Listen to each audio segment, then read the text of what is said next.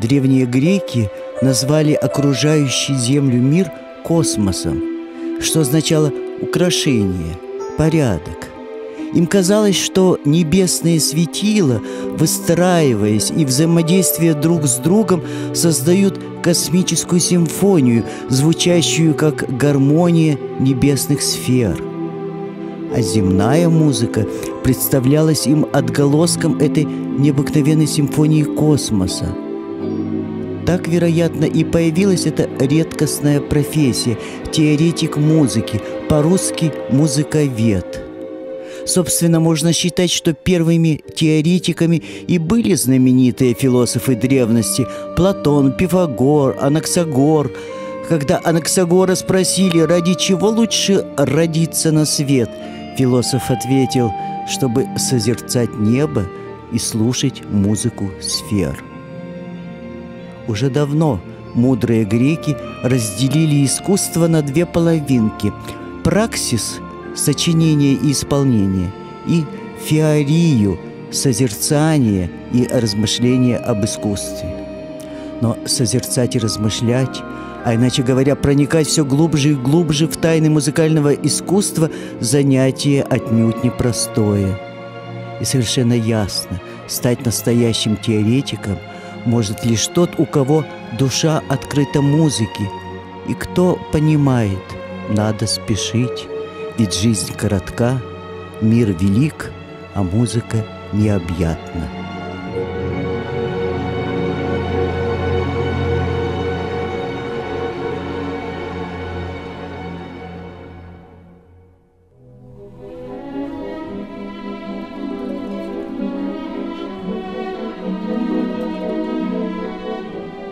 Однажды педагоги-теоретики колледжа представили публике шутливую сценку операции на мозг, в процессе которой вживляли в него все премудрости музыкальной теории, все богатства музыкальной классики. В итоге на свет явился поразительный музыкальный интеллект, не только сам овладевший искусством феерии, но и способный приобщать к ней других – подобные операции, в кавычках, конечно, как вы догадались, начали проводить на Камчатском полуострове, вдалеке от Греции, тем более от древней, ровно полвека назад. Когда в 1960 году на Камчатке возникло музыкальное училище, теоретические дисциплины вела в нем первый директор Евгения Константиновна Загорская – но все же свой отсчет теоретическое отделение ведет с того момента, когда в училище был осуществлен первый набор студентов-теоретиков с 1967 года. Мы можем с гордостью сказать, ни в одной стране мира обучение теории и истории музыки не поставлено столь глубоко и основательно, как в России. Наша Камчатка – не исключение. Загорская, Цибульник, Красинский, Калужский, Тверцена, Кириченко, Фертова, Колдаева, Угрюмов, Лопанцев – эти имена вошли в историю колледжа, ибо каждый из них был личностью, истинным специалистом – 20 лет теоретическим отделением руководила Наталья Викторовна Бугаева, своей мощной энергией и знаниями, давшая новый импульс отделению. Более десяти лет она возглавляла музыкально-эстетический центр при Камчатском колледже искусств. Из маленьких крошек с упоением поющих песенки, танцующих и рисующих выросло немало профессиональных музыкантов – Среди них, к примеру, Елизавета Шишова, которая после окончания двух факультетов Дальневосточной академии искусств успешно работает в колледже и возглавляет Центр одаренных детей Камчатки. Хорошо, а сейчас играем догонялки. Да, мы будем догонять меня. Я буду петь песенку, да, а вы будете догонять, вторить мне. Начали медленно, как Мишка. Раз, два,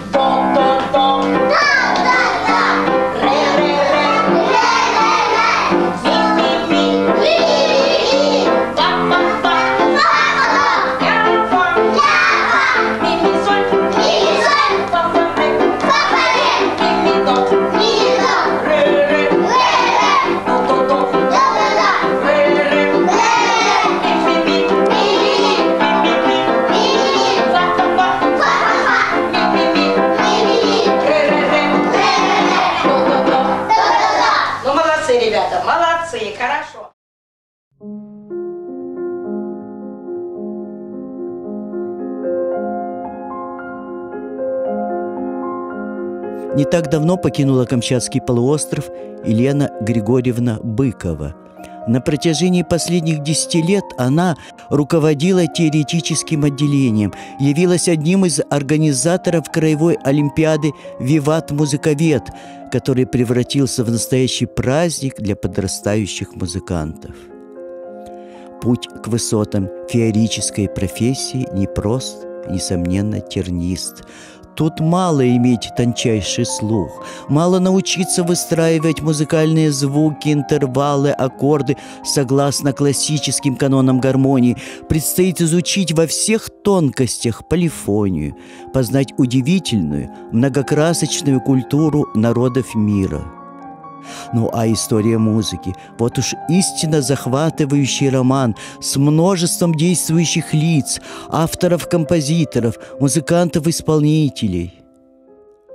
И вот уже первое публичное выступление, успехи и награды, призовые места на научных конференциях, на всероссийских теоретических конкурсах в лучших российских вузов и даже в самом главном теоретическом состязании страны конкурсе имени Холопова в Московской государственной консерватории.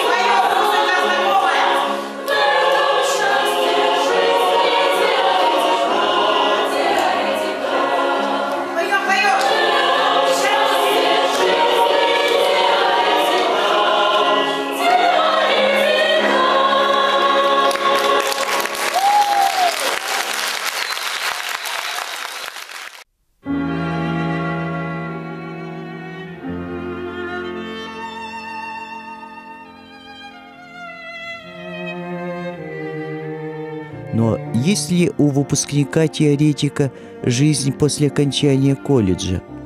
Конечно, есть. И она прекрасна, ибо заполнена мощной творческой силой – за примерами далеко ходить не надо. Москва – самая главная сцена России, Кремлевский дворец. И здесь вот уже много лет музыкальной частью кремлевского балета заведует автор нашумевших балет и опер, а в прошлом студент теоретического отделения Камчатского колледжа Владимир Качесов – в самом центре кипучей деятельности Московской консерватории находится и выпускник Александр Баранов, ныне начальник учебного отдела, преподаватель, организатор научных конференций.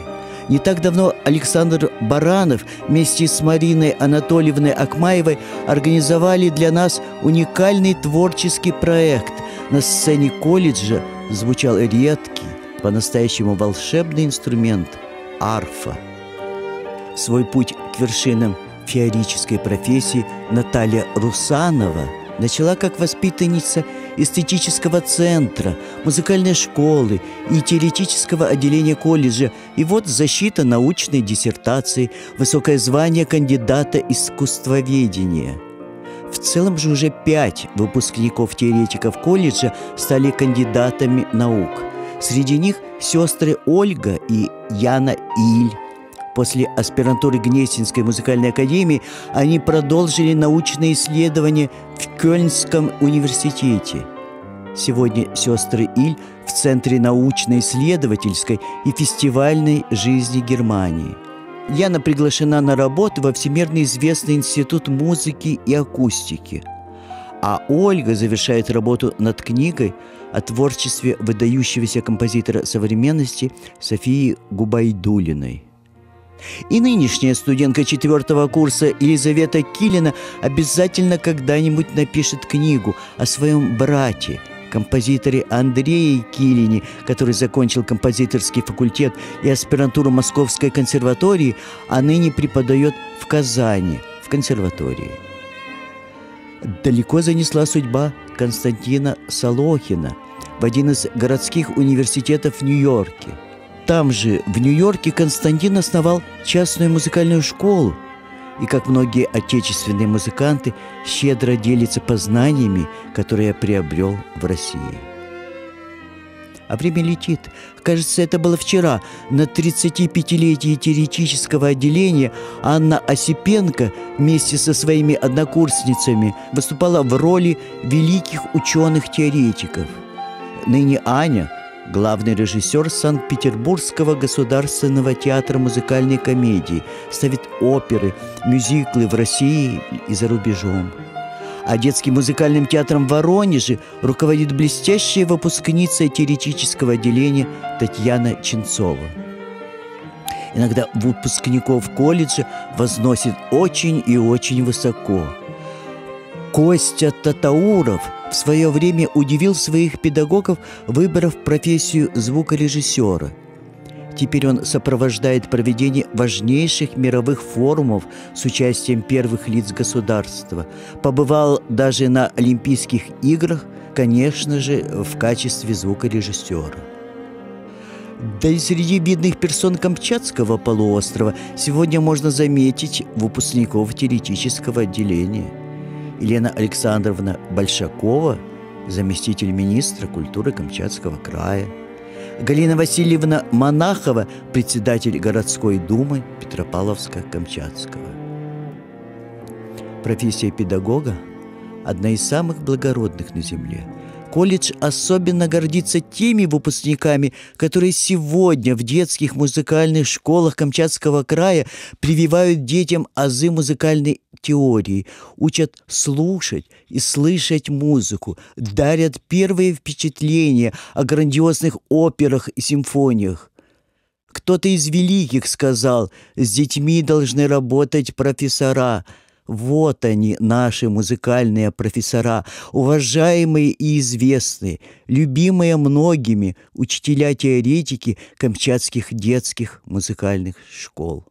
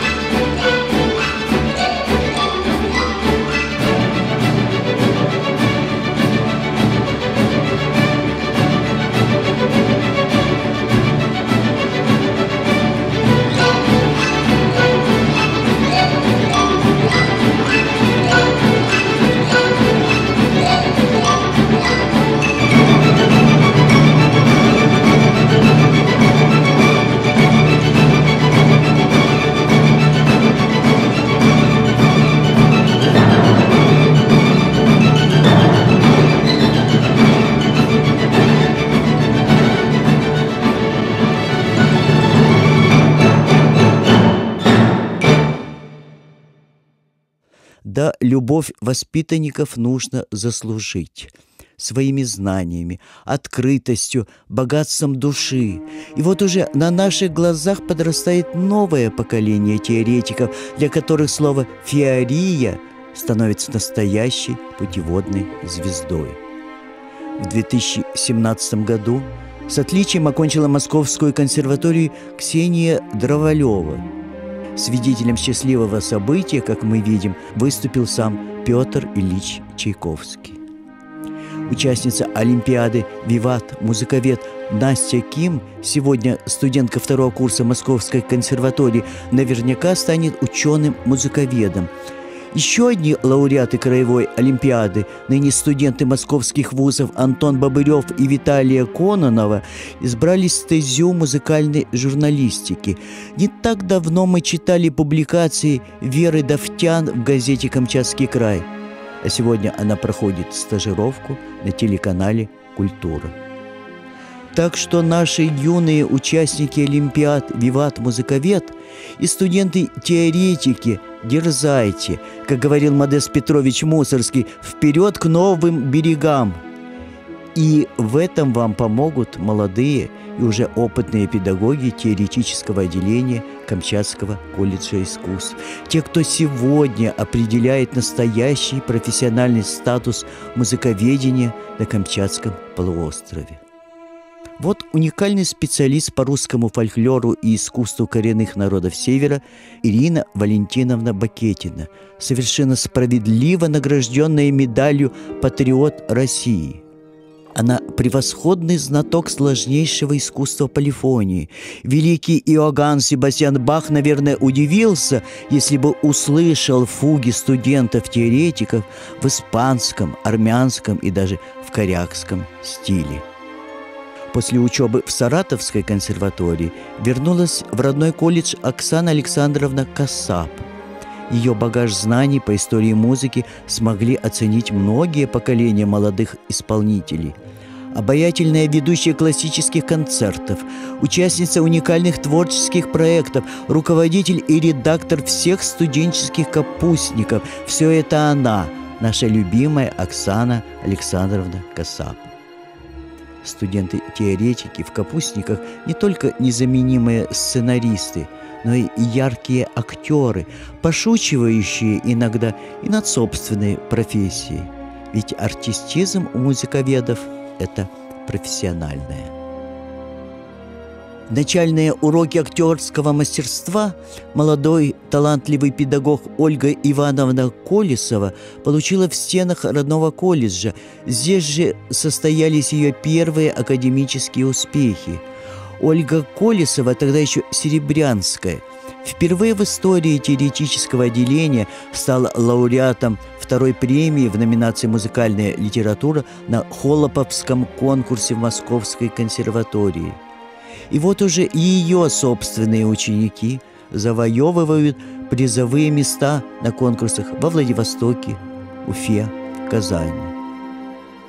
Несколько лет назад на теоретическое отделение пришли работать Елена Николаевна Азарова и Мария Владимировна Болдырева, превосходные специалисты, сочетающие педагогическую деятельность с административно-организаторской работой – и вот уже почти 30 лет колледж искусств для Ольги Иннокентьевны Трофимовой – родной дом. Более трети выпускников-теоретиков и несчетное число студентов-исполнителей прослушали ее авторский курс музыкальной литературы и истории мировой культуры. Такой кладезь знаний трудно растерять. А еще Ольга Трофимова на сцене Орлова одна из лучших ведущих классических вечеров в России. Время бесконечно, но мы, живущие на нашей маленькой удивительной планете, выучились его считать. Считать для того, чтобы не затеряться в стремительном беге мгновений. Считать чтобы день сегодняшний и века, которые неизбежно придут за ним, помогли каждому из нас осознать свое предназначение. Каждый человек, совсем юный и убеленный сединами, запомнил то счастливое время, когда в нем впервые стала раскрываться красота музыки – Наверное, в эти мгновения, слушая музыку земную, каждый начинает ощущать и гармонию далеких сфер, сквозь которые с немыслимой скоростью летит наша крохотная планета. Именно в этот мир приобщения к таинству феории, искусству размышления о музыке ведет своих учеников каждый педагог-теоретик. Ну а самое главное, слова, которые он, педагог, слышит от своих учеников и слушателей в ответ, тоже звучат возвышенно и необыкновенно волнующе. Именно вы открыли для меня этот полный чувств и красоты великий мир музыки.